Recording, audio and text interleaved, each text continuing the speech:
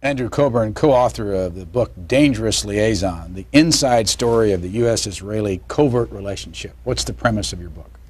The premise is that there's a side to the relationship between the US and Israel which goes much beyond just the sort of sentimental links and the links forged by supporters of Israel in this country. What we say, what we explain is that there has been since the almost the earliest days of the Israeli state and the earliest days of the CIA a secret bond, a secret link between them basically by which the Israelis, Israeli intelligence, did jobs for the CIA and for the rest of American intelligence. And this, you cannot understand what's been going on around the world with American covert operations and indeed Israeli covert operations until you understand that the two countries have this secret arrangement. Leslie Cockburn, what was the most interesting part of writing this book? Well, I mean, there are a number of things. Um, for example, uh, one particular part which I found most interesting was we talk about Israeli operations in Colombia and um, some of the Israeli commandos who trained the hit squads of the Medellin cartel. It turns out that they had trained us in Israel as well, and uh, when they were between trips to Colombia. These were the same people who also uh, trained most of the top commanders in the Guatemalan military, also trained the Leslie Cockburn, what was the most interesting part of writing this book?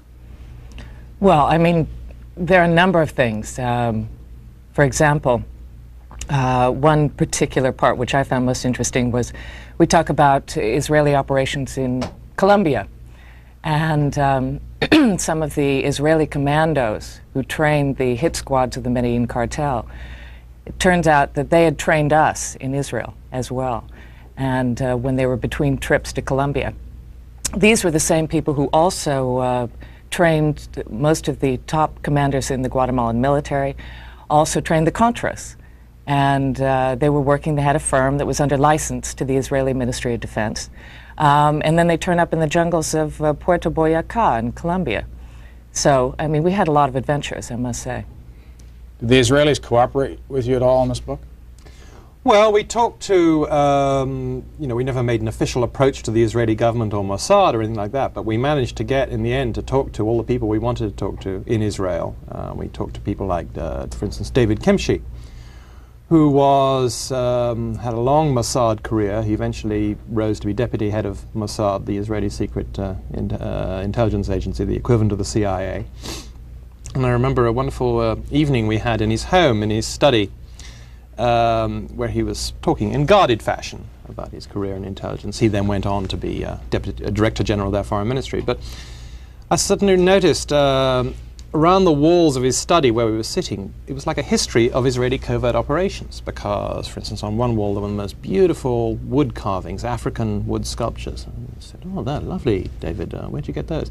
Oh, present from Mobutu, Zaire. Oh, that one's nice. Where'd that come from? Uh, Bokassa, Central African Empire. Uh, then another wall, beautiful Persian miniatures. Uh, where they come from? Oh, present from the Shah for something we did for him. So, uh, you know, just there was this man sitting, this master spook, um, surrounded by mementos of his career. And so we, you know, we talked to him. We spent a lot of time talking. Um, well, there's a street in Tel Aviv, an avenue called Shaul HaMelech, which is right across the street from what's called the Kiryat, which is the Ministry of Defense compound.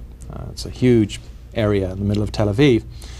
And on the other side of Shaul HaMelech are a row of very fancy high rises, um, which is basically the headquarters of the Israeli military industrial complex. I mean, that area is. So you have offices of all the major arms dealers, the offices of the Israeli representatives of the major American defense corporations. You have Mossad headquarters. Just down one side street, you have a very beautiful building, which is the headquarters of a man called Shaul Eisenberg, which not many people in the outside world know about, but he's certainly the richest and probably the most powerful man in Israel. He's the master arms dealer, uh, behind a lot of political campaigns, behind a lot of politicians.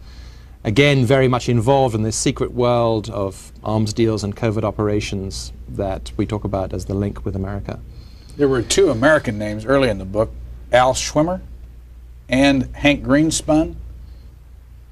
Uh, well, Al Schwimmer um, is again a fascinating character. Um, he, right at the very birth of Israel, um, his real name's Adolf Schwimmer, but everyone calls him Al. He was basically an arms smuggler for Israel. He was flying in arms during their War of Independence um, uh, from all over the place. Uh, he was originally a TWA flight engineer, in fact, uh, but also a brilliant pilot.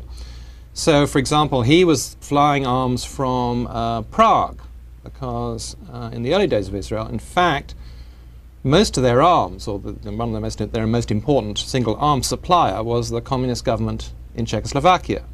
And Schwimmer was uh, part of that. He went on to found um, Israeli aircraft industries. In the meantime, still sort of flying arms, you know, doing covert arms deals around the world. And then years later, um, his energy is still undiminished. He was right at the heart of the Iran Contra business. He was, you know, absolutely mm, central at one point to the uh, covert shipments of arms to Iran. Hank Greenspun was another fascinating guy. He um, he was he was a U.S. Army veteran, at the end of World War II and he was, he'd just moved to Las Vegas to set up a radio station when Al Schwimmer suddenly knocked on the door. He didn't know him, introduced by a mutual friend, said, "Hey, drop everything. I want you to come with us, and we're going to we're going down to Mexico. We got to we need you to to go and vet some arms that we've gotten hold of that we're buying illegally. In fact, uh, we need to get to Palestine for the strike." So Schwimmer, uh, so Greenspun says, "Oh, okay," drops everything and gets, becomes an arms smuggler briefly. Um, he disappears from his house for six months, comes back, can't tell his wife where he's been, and he's you know been in Mexico bribing officials, and and um, then he goes back to Las Vegas. He later became very famous as the publisher of the Las Vegas Sun, uh, early opponent of Joe McCarthy, fought Howard Hughes, uh, and was also actually, interesting enough, he was the conduit for many years until the campaign finance laws got tightened up. Um, if uh, candidates, particularly Democratic candidates, who needed cash in a hurry, Hank Greenspun in Las Vegas was the man to see, because in Las Vegas, of course, a lot of cash around. And if you were in dire straits, uh, for instance, Jimmy Carter was saved at a crucial moment of his candidacy in 1976 um, during the Pennsylvania primary when Hank Greenspun came up with $60,000. So you have characters go all the way through. Yeah, I mean, one point about doing this kind of story about covert operations with U.S. and Israel is that because Israel is such a young country, some of these people who were there at the very beginning, who were making the deals in the 50s, are still alive. We went to see uh, Isser Harel, who was um, uh, really a, you know, a, a, towering figure in covert operations.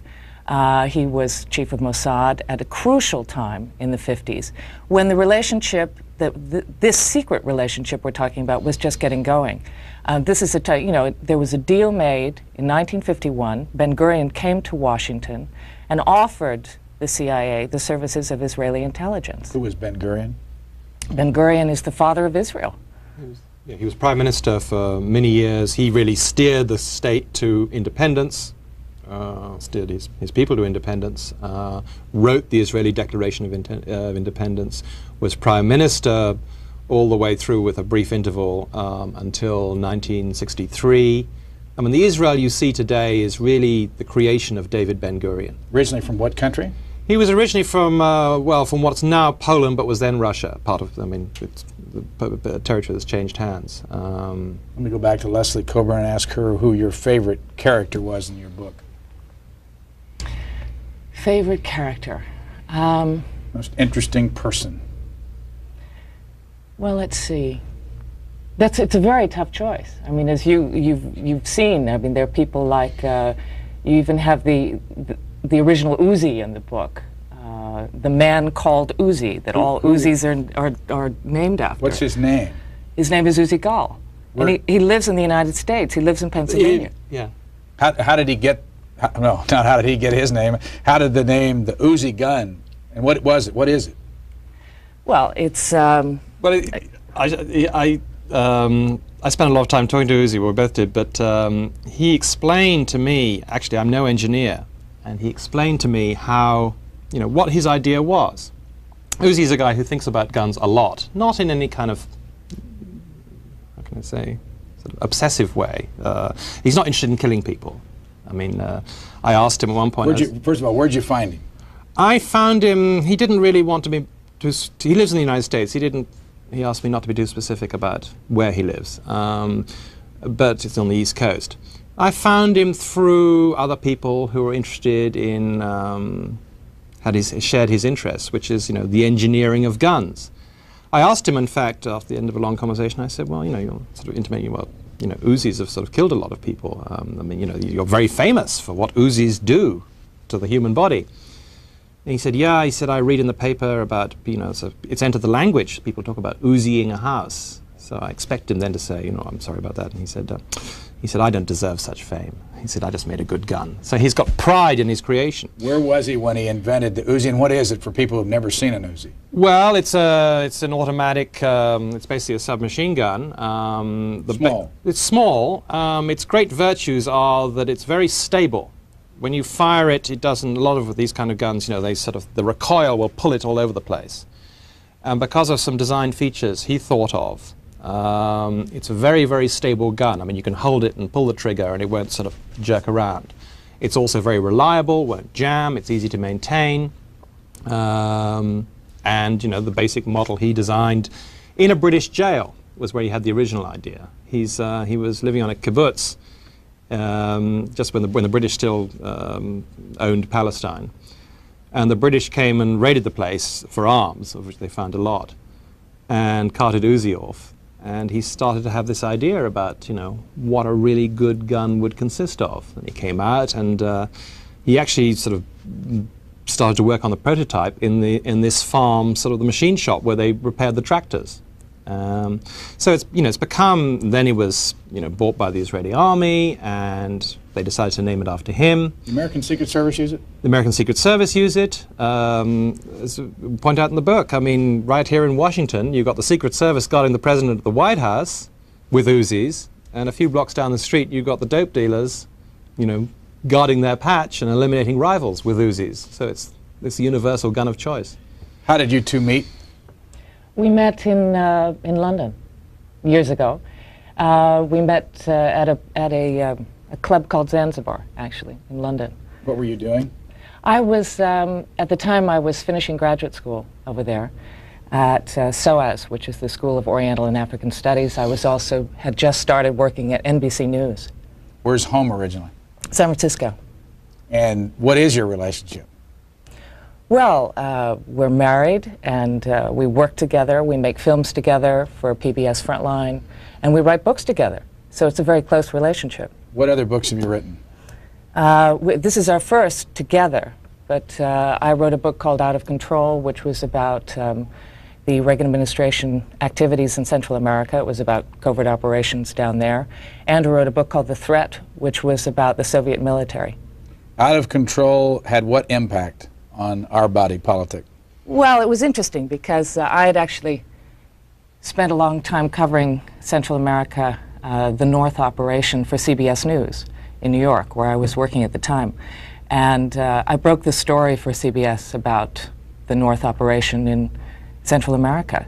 So then wrote a book which was basically about our adventures uh, in finding out about this stuff in Honduras, in uh, Washington bars and restaurants, in Costa Rica. It got into the seamier side of uh, what was going on down there with operations.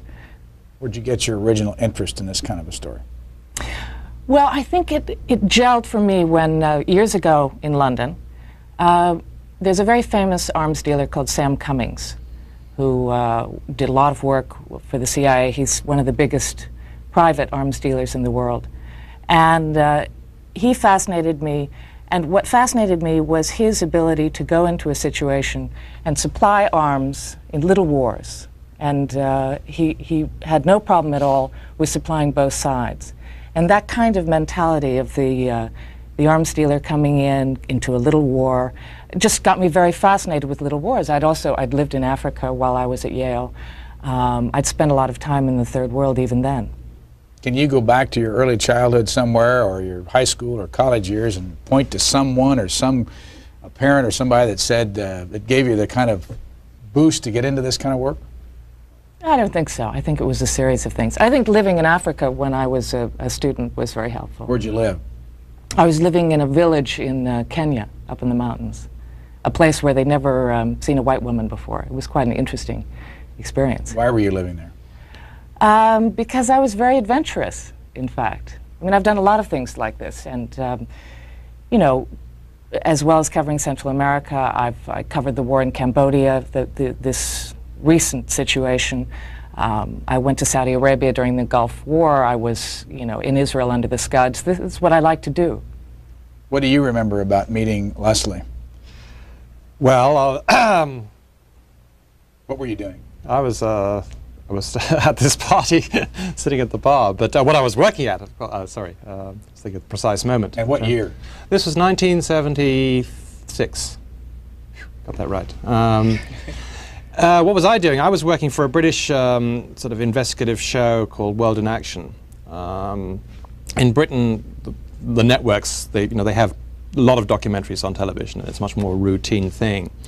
So we used to, uh, it was a weekly show, and we used to, actually, it was a wonderful operation. Um, used to be sent off, and you could basically do almost what you wanted, I mean, provided it was a good story. I think at that time, what was I working on? I was working on a story about how the, there had, there was a huge argument going on then, as, I suppose is now, as to whether, you know, nuclear power was safe. And there were these rumors I'd heard that there'd been a nuclear accident in the Soviet Union. And this is long before the days of Glasnost and so forth. That there'd been a nuclear accident in the Soviet Union and that, of, that was very mysterious, no one knew much about it, but something terrible was supposed to have happened 20 years before.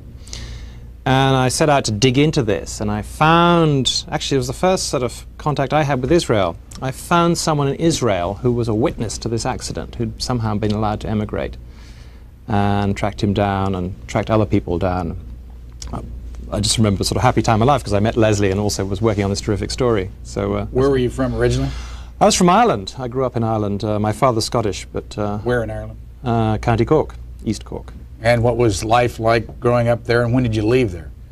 Uh, life was interesting. It was like, uh, actually, we didn't have a, in the early years, we didn't have a car or a telephone or a fridge. So I grew up, we you know, went everywhere by horse. Uh, I grew up in a sort of 19th century way. I mean, there was no difference between the way we were living and someone 100 years before.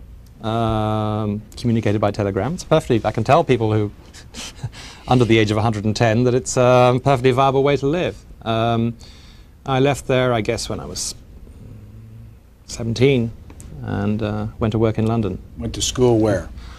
I went to school, uh, in the American sense, I went to Oxford. Studied?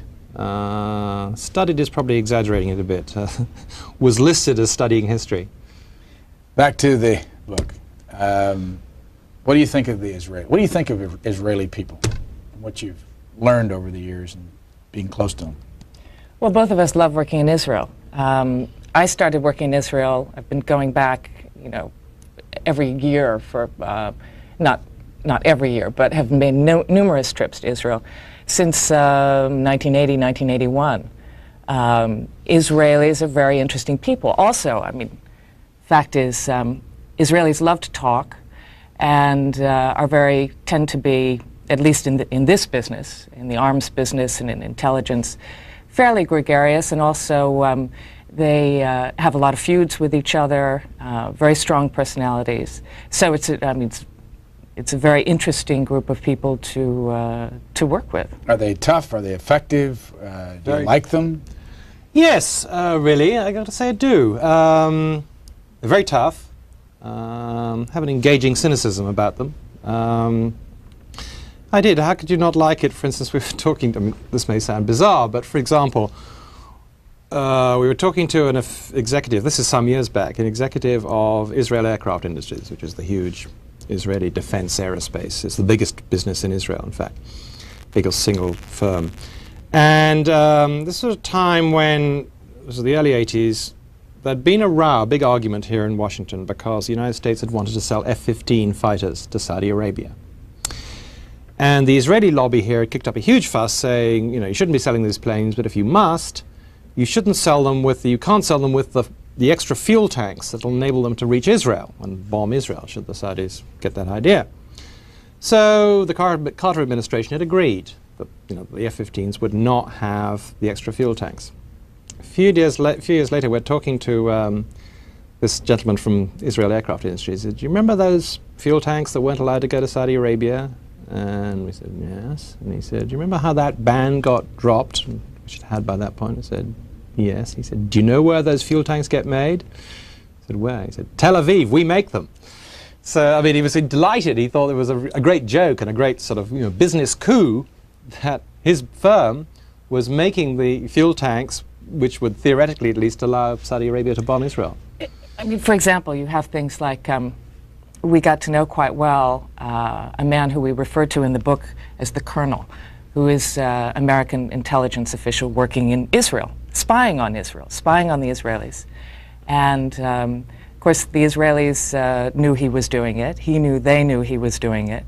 And when he got to the end of his term in Israel, the chief of Israeli military intelligence threw him a big going away party and said, We like you, you're more Israeli than the Israelis, now get out of here and don't come back.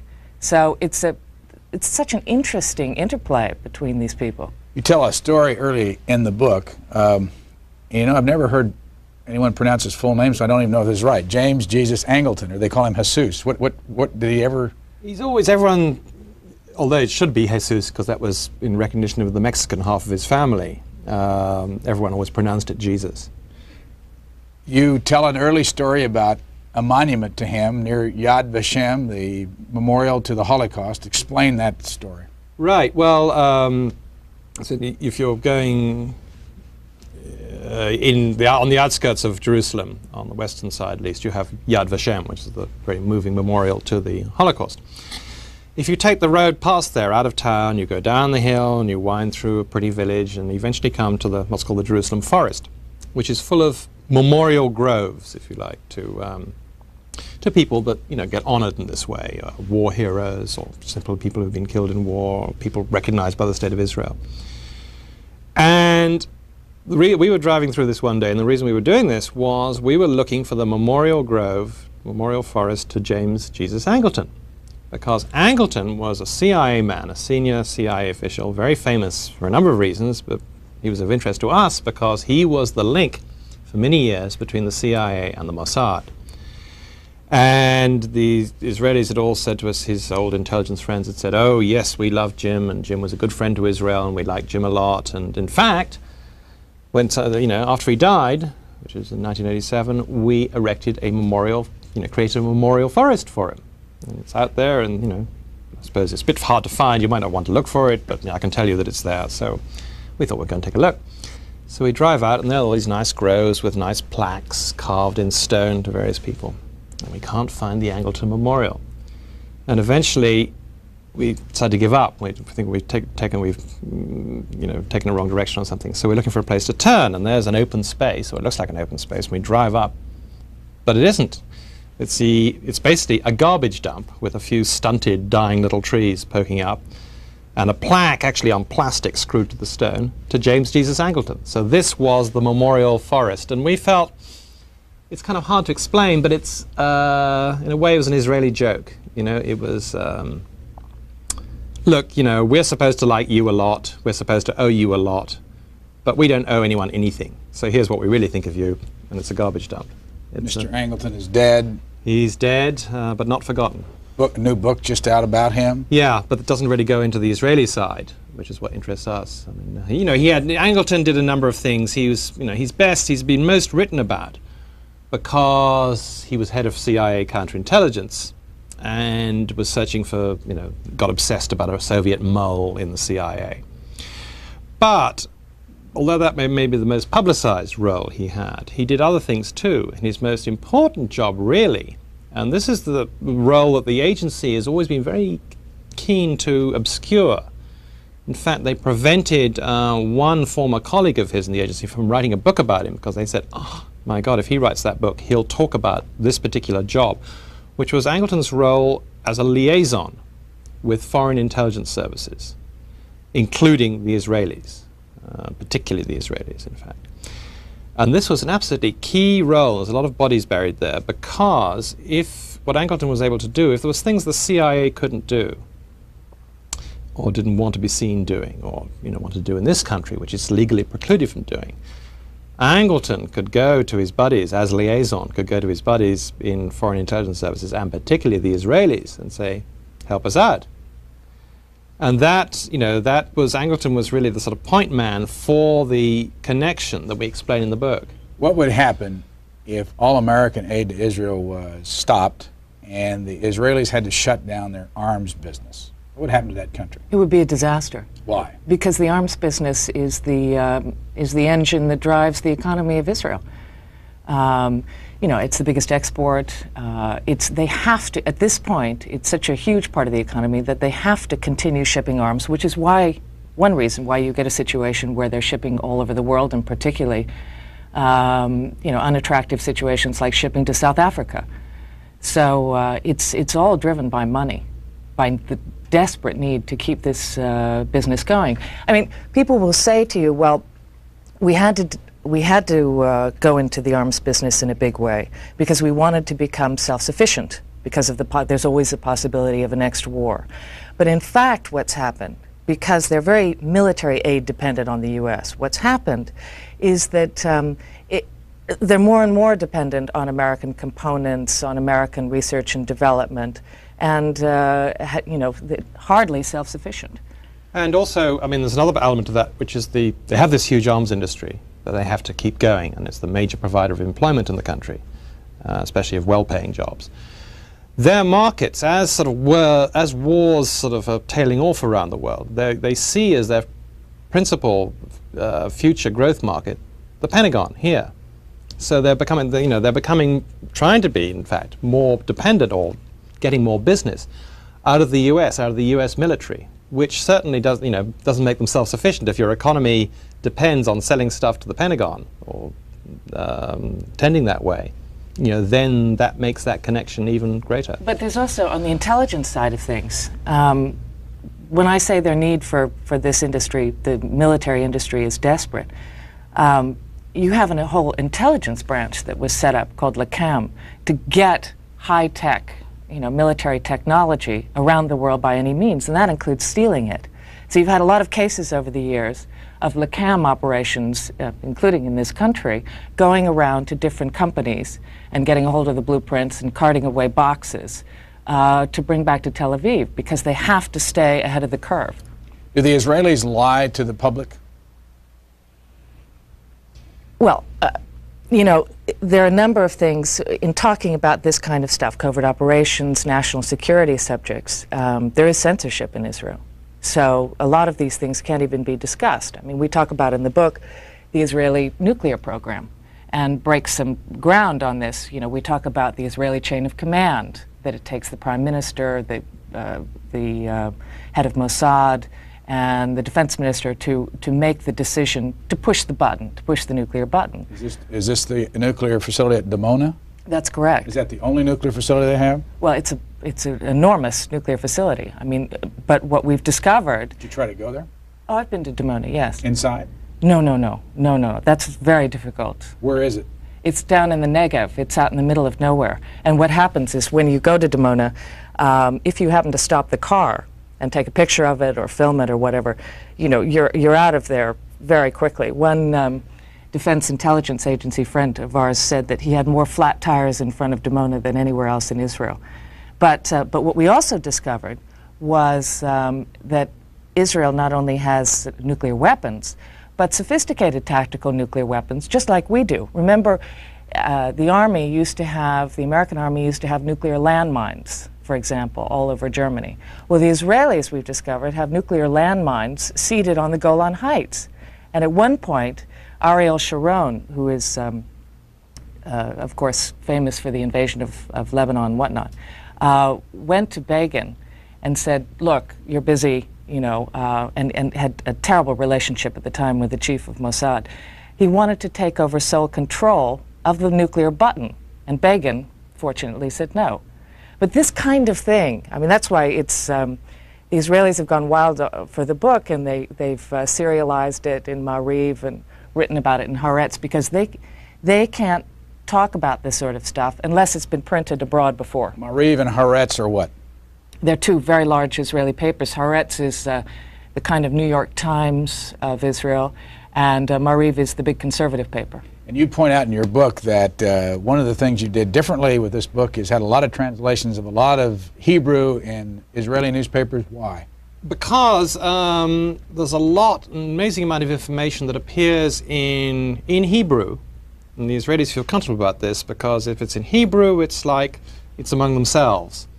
Uh, that doesn't get translated into English. I mean, they're very conscious of the feeling that Hebrew is like a code. I mean, not many people outside Israel actually speak it. So, uh, you know, if you can say something in Hebrew, it's almost like saying it in secret.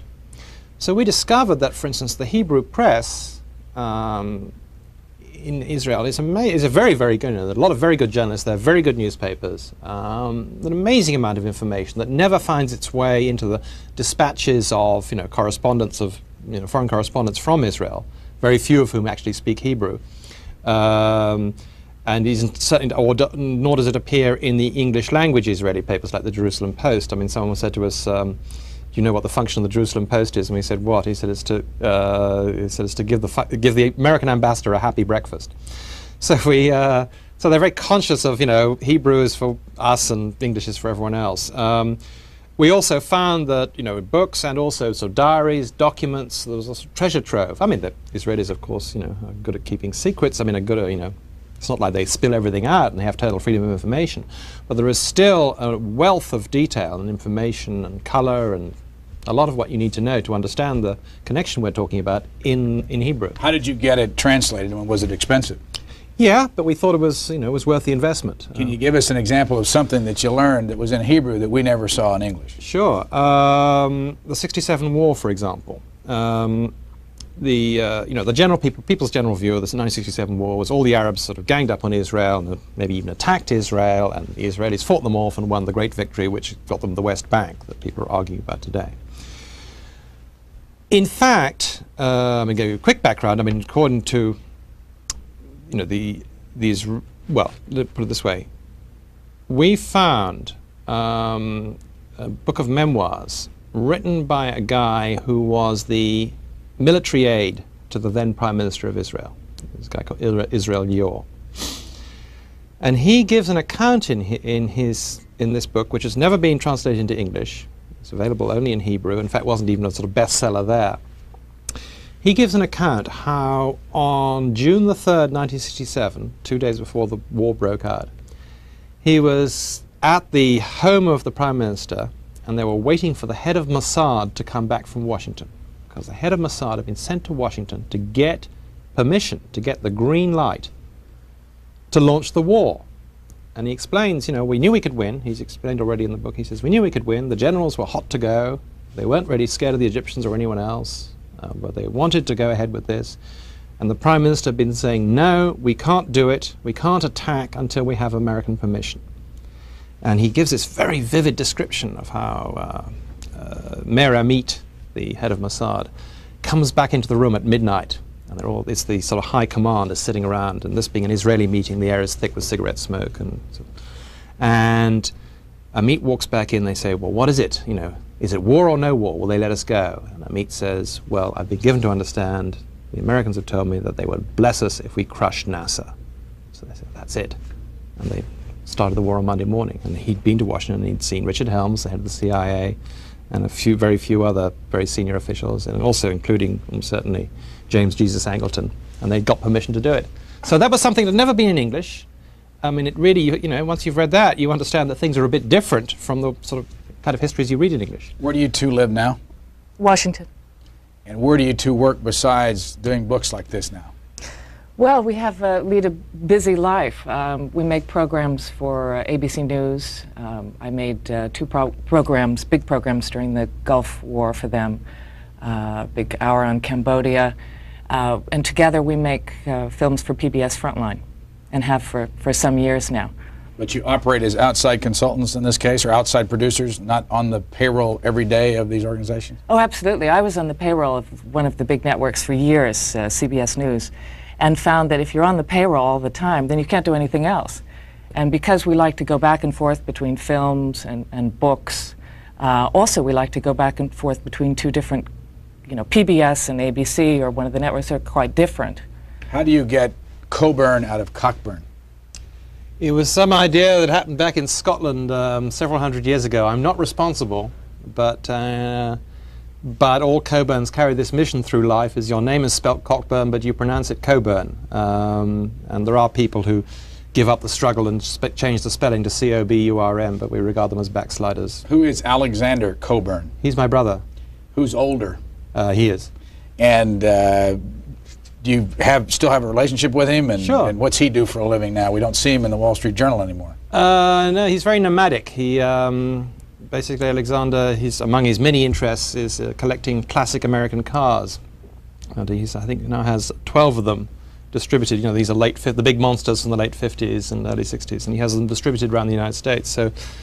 He basically he moves around the U.S. in a sort of great circle route, um, and he has cars everywhere. So he, but he uh, he lives most of the time actually out west, and he's incredibly busy and incredibly productive. I have a younger brother too who spent the war, um, the recent Gulf War, in Baghdad. He's the correspondent, he's the Middle East editor for an English newspaper, The Independent. And uh, Your brother was very opinionated and very, very visible, especially when he was in the Wall Street Journal. Does that give you a problem that people automatically ascribe his views to you? um, not sometimes. I mean, not really. I mean, it's um, um, he often gets confused with me as well in other areas. So we've, you know, I, I just get used to it. Um, are you Alexander? No, I'm Andrew, or whatever. It's And uh, he also gets confused with Patrick, of course, who's um, Yeah. m- most of the time in the Middle East. So. And how about politics? Do either one of you consider yourself strong political people? I don't. Did you get accused of that, though? Well, look, whenever you're looking into this kind of stuff, whenever you spend your life, you know, collecting frequent flyer miles to go to places like uh, Cali, Colombia, and Dhahran, Saudi Arabia, and uh, Thailand, and you know, when you're actually going out and finding out stuff, the world doesn't fit into a neat little package. It's always a little different from what people expect it to be. So of course you're always going to get. Um, it's always controversial. The truth is controversial. people have trouble sometimes making Leslie out. We were um, talking to a, a master Israeli arms dealer um, called Shapik Shapiro, who um, uh, looks the part too. He wears very expensive dark glasses and silk shirts and smokes big cigars. And sitting talking to him in his very elegant office opposite the Ministry of Defense in Tel Aviv, and Leslie was explaining what she'd been, you know, he was, we were talking like we're talking now, and Leslie was saying, oh, I've done this and done that. And, and Shapik took the cigar out of his mouth and said, ah, I see, you're a spy. It's happened more than once. But uh, there was another, uh, again, a master uh, Israeli uh, intelligence operative who uh, we were uh, in Manhattan. It was late at night. We were in a hotel room grilling this guy for information. And he said, uh, he turned to us and he said, You're Shin Bet, which is, you know, domestic Israeli intelligence. So um, it's, as I say, it's always more confusing than it seems. One other thing, uh, uh, another quick question. How many times have each of you been to Israel? Ooh. Uh, You list a whole bunch here, like 81, 82, 83, 84, like every year. Is that both of you go, you, go, you travel together? sometimes together, sometimes separately. Uh, We've, have- we've been for different things. Uh, we did a big, uh, we did an hour for Frontline uh, about what, three years ago. yeah, That where we traveled several times together. that was four or five times for me at least. Yeah. Yeah. When they see you coming into the country, do they do anything special, like trail you?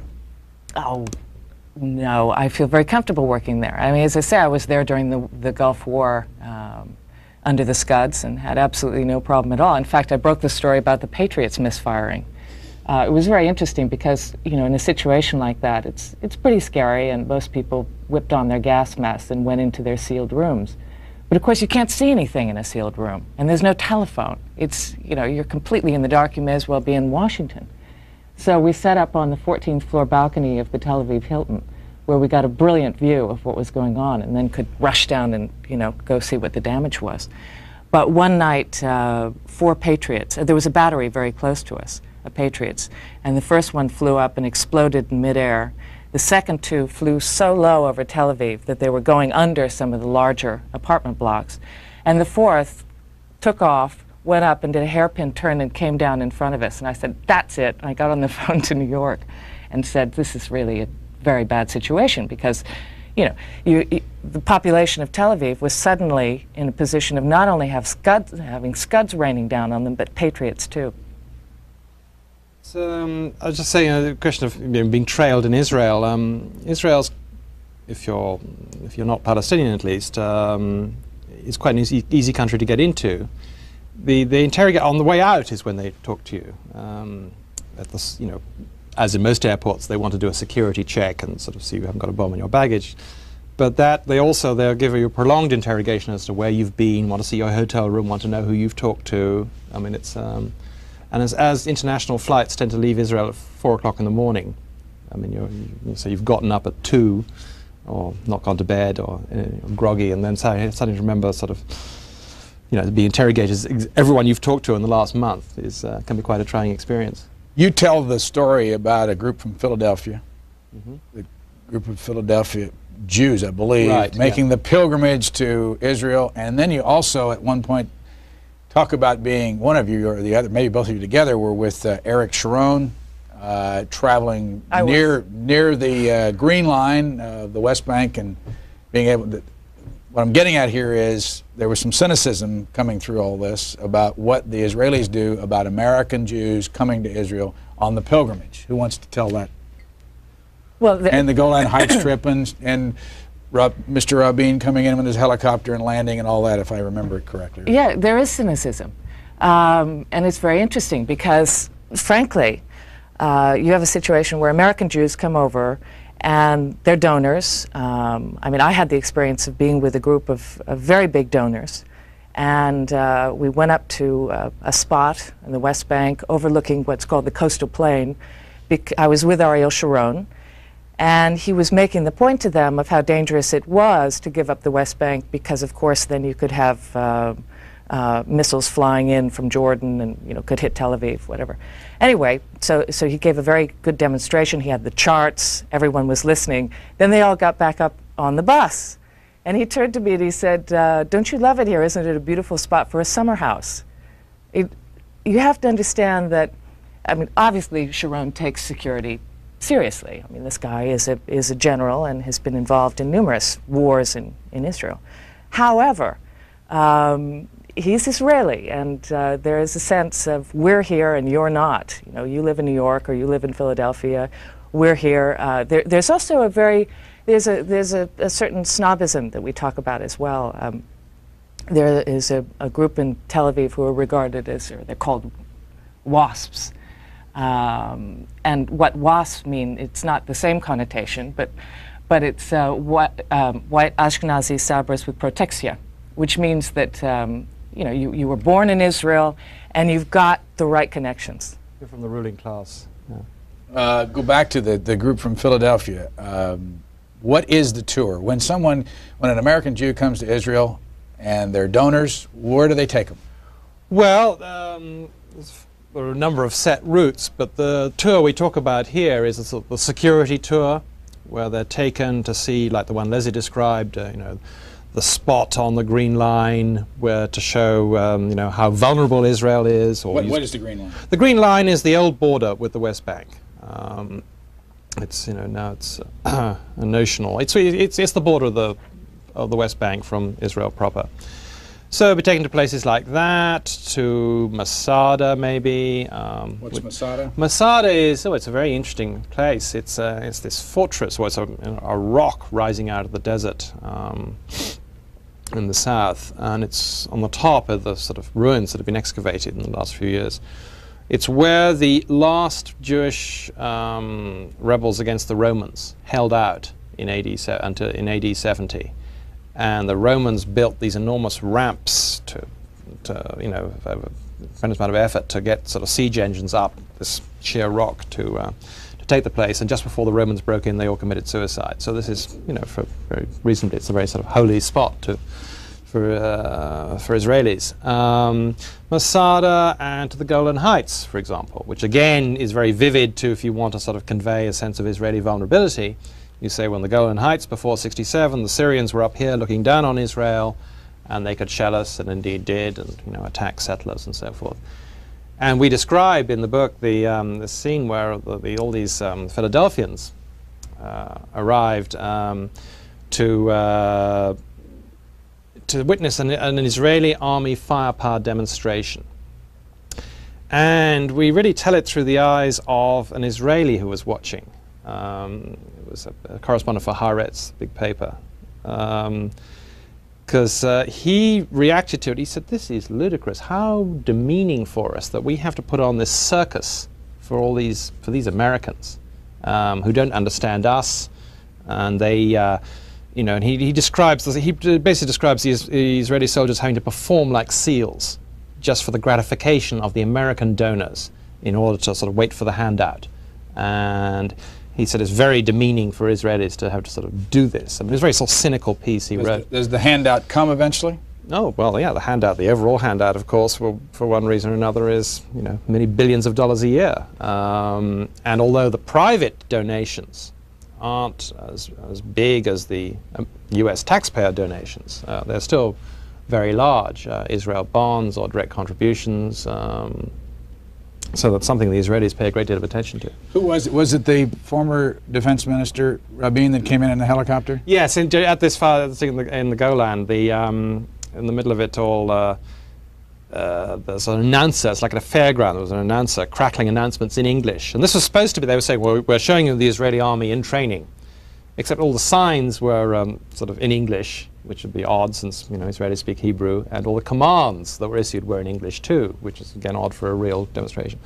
In the middle of all this, you know, put put put, and in comes the helicopter with Itzhak Rabin, um, who makes a, made a stirring speech, and everyone presented medals and awards to each other, and then the uh, the IDF, the Israeli army, went on to attack the quote unquote Syrians, which was a pile of barrels, and blew them all apart. And guess the one I want to ask you is that uh, do you think that this group of leaders um, meaning everybody in the intelligence community, in the military, and in the government, are sitting behind the scenes laughing at the Americans coming over giving the money? Is this no? That's much too strong. Uh, the the the reason why we put that anecdote in the beginning of the book about the demonstration that wasn't a real demonstration uh, was, you know, it th- that's one side of Israel. But we immediately asked people to take a tour down this street that Andrew mentioned before, Shaul HaMelech, next to the, uh, the Ministry of Defense, um, which is the real, uh, the, the, real Israel for But this had to- security system. But they didn't take the Philadelphians down the street where the defense ministry is located. No, and they're, they don't get to spend time with uh, these kinds of people, absolutely not. Why not? Because this is a world, uh, first of all, because, uh, you know, if, you, if you're not in the business in some way, or, a, or you know, meddlesome journalists like us, why go there? Um, you know, I mean, they, they, would have nothing in common. They would have nothing to discuss. You know, these are very uh, tough, seasoned operators we're talking about here, and uh, they can't be bothered with, you know, seeing a tour group unless they happen to be a politician. I asked you earlier whether or not the Israelis lie about what they're doing, and I want to ask you the same question about the American government. You catch the American government in a lie when you're covering them about things like arms and drugs. Oh, sure. I mean, the uh, the American government. Um, I mean, there's a number of lies on the record. I mean, it's continu- of continuing embarrassment. Um, I mean, the, the great one of the great lies of the 80s was, the, for instance, that we weren't selling arms to Iran. Well, we were. We were doing it through our Israeli proxy. In fact, as we reveal in the book, um, the, um, we were doing it from day one of the Reagan administration. We have a, uh, someone we spoke to actually on the record, a General Avraham Tamir, who was like the sort of Brent Scowcroft sort of shadowy back, backroom figure, you know, uh, advisor, high-level advisor to these Israeli governments um, through the 1980s. I mean, he told us how Al Haig gave them permission to um, uh, to sell arms to Iran from day one of the administration. He also described to us again a lie. I mean, there was the lie that uh, that we weren't involved in any way in the Israeli invasion of Lebanon. He described how he and Arik Sharon came to Washington in the spring of 1982 to get the green light to invade Lebanon. And you know, he lays it all out and he explains why Haig wanted them to do it. And uh, he said, uh, he said, Haig sort of said, uh, okay, we want a minor operation. And then Tamir went like this. And he said, it's a big word, minor. I mean, because they you know, did this huge war. American government lie? Oh, of course, all the time. Um, I think, uh, I, I, mean, you know, we saw it in spades in the 80s, uh, particularly what, what, we know of now as Iran Contra. But interestingly enough, uh, in, as part of that, on the Central America side of things, for example, um, we were not given a very good picture of what Israel's involvement was in Central America during that war.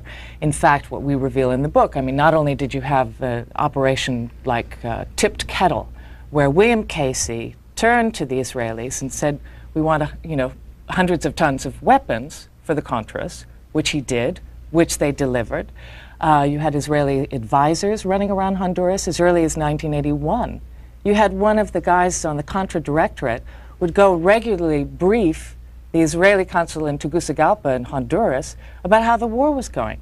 Uh, in Panama, uh, Manuel Noriega, I mean, no one wants to touch him anymore, but he was certainly great friends with uh, people in the White House and in the agency uh, in, as part of the whole Contra effort. And at his right hand was Mike Harari, known as Mad Mike in Panama, who was former chief of clandestine operations for Mossad, for Israeli intelligence.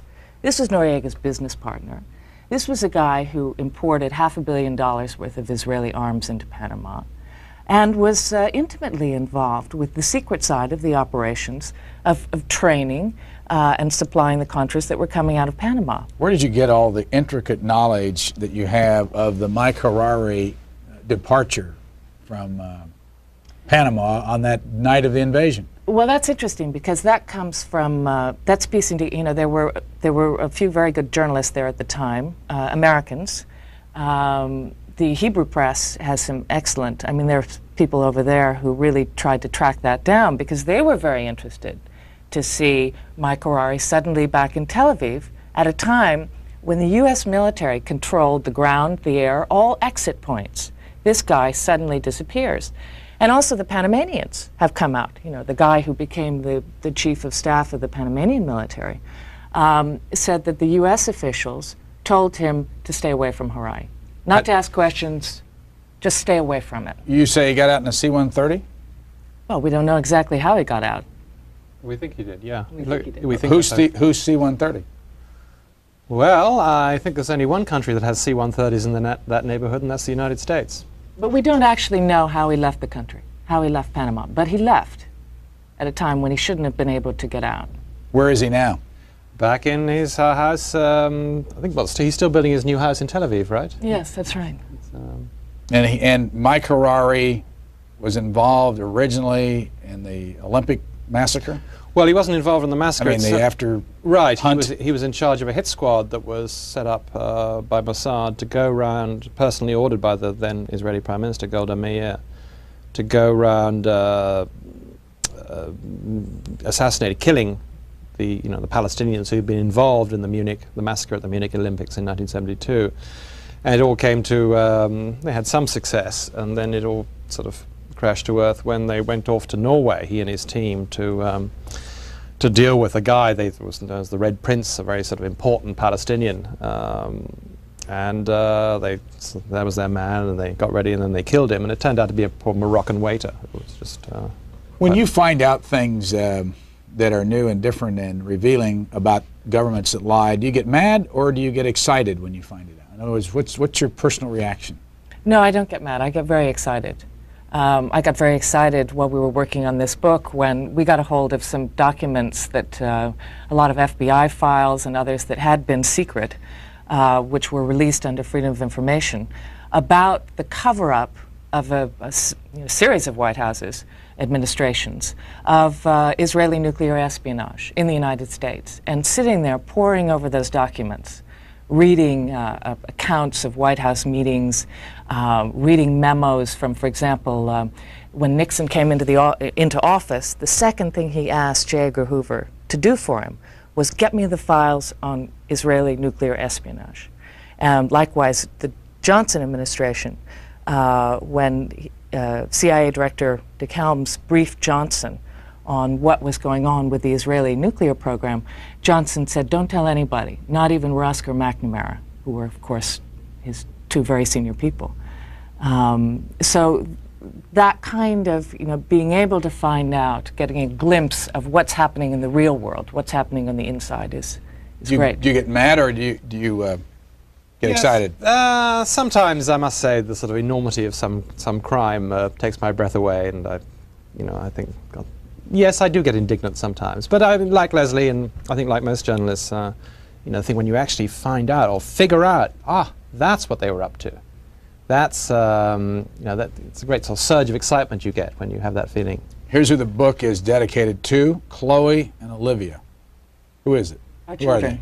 How old are they? 7 and 12. They typed that dedication themselves. They wanted to make sure it got in. They didn't trust us to do it, so they went up to the typewriter and did it. How did you both have time to have two children in the middle of all this running around? Well, uh, when I was pregnant with the first one, I was, uh, let's see, when I was eight months pregnant, I think I was working in, uh, on a story in West Africa at the time, in Liberia. Um, when I was pregnant with the second one, I was working in Israel. Uh, I was working in, in various, on various stories. So you just keep going. What's next? Uh, we're headed back to the Middle East, uh, not to Israel um, right now. Although since the Israelis are very interested in the book, we probably probably should go there. But um, no, we're going to the uh, um, going to other countries in the Middle East. We're working on another frontline film. And do you want to write another book? Oh, sure. What, what if you had it? If you could do it today, what would you write it about?